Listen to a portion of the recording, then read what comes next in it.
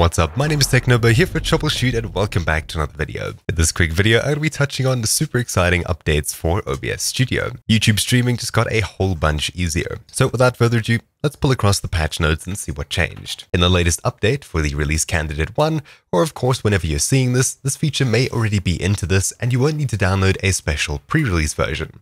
Basically, you can directly link your YouTube account with OBS and you no longer need to use a stream key. When you do, it gives you the ability to schedule streams, change the stream title, description, privacy settings, scheduling streams, and of course, much more.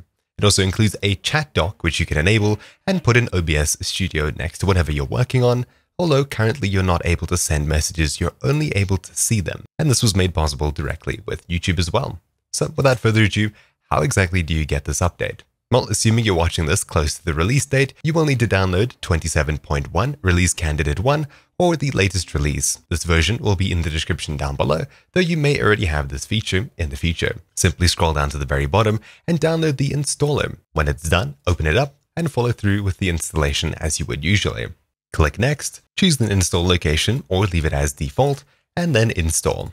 Wait for it to finish, and then click Finish at the bottom when it appears. Now that OBS Studio has launched, you'll notice not much new. However, if we go into Settings, then Stream, you'll see YouTube slash YouTube Gaming and YouTube RTMPS. On the first one, you'll notice that your previous settings are now set to Legacy as there's new primary and backup server settings here, though that's not what we're interested in.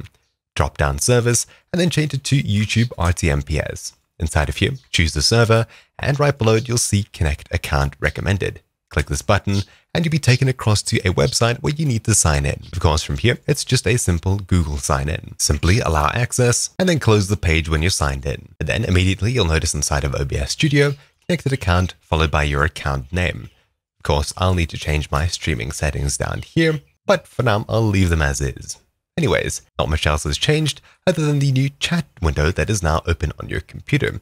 You're able to dock this anywhere by dragging and dropping it into somewhere you'd like. Usually it's stick it to the right hand side of your actual stream preview. But of course you can place this wherever you would like. Depending on your configuration, you'll have to mess around with it. Anyways, once you're comfortable with the position, clicking Start Streaming will instead bring up a new window allowing you to set up your actual stream itself instead of just going live straight away. You can choose from existing events, or you can create new events here. Give it a title, a description, set a privacy, and in order for YouTube chat to work, it needs to be either public or unlisted. Choose a category, set whether it's made for kids or not, change latency options, DVR, 360 video, and schedule for later if you like to schedule a stream for later, which you can auto start and auto stop at specific times if you so wish. But for now, I'll leave it as is, and I'll create an event and go live. This is unlisted, so nobody should see it unless you have a direct link to it. After it's been created, you can see the chat window on the right hand side now appears, and we're streaming. Of course, my settings are very off, so I'll be dropping quite a few frames. Anyways, Heading across to my YouTube Studio dashboard, followed by content, then live, you'll see my live stream over here, my broadcast upcoming. If we click on it, we can see the details that we set inside of OBS Studio, and heading across to the link, you'll see it live on YouTube over here. I'm going to go ahead and mute it and say something in the chat over here. After sending a couple of messages, you'll see that they reflect in OBS Studio here.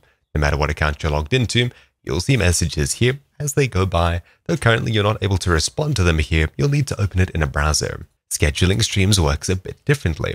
If we stop our stream and start a new one, you'll see we have to enter settings once again. But if we go to select existing events, we'll be able to choose from ones that we have created on YouTube itself, or of course scheduled here before.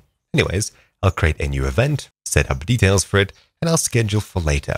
I'll even get it to auto start. For some reason, I'm not able to set auto start and auto stop. Maybe that's a feature coming in the future, but for now, it's not available. Anyways, if I schedule the event, currently with these two buttons unchecked, it won't automatically start streaming, but it's now set it up on YouTube and we're ready to go live whenever we want, or of course on time. Heading back to my dashboard, refreshing, you'll see I have an upcoming broadcast over here.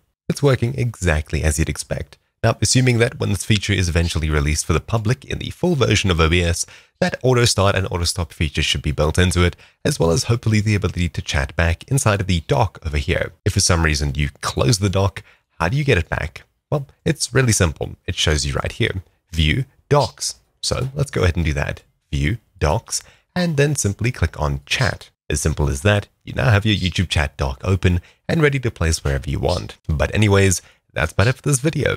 Thank you for watching. My name's been Technobo here for TroubleChute. Hopefully you found this video helpful and I'll see you all next time. Ciao.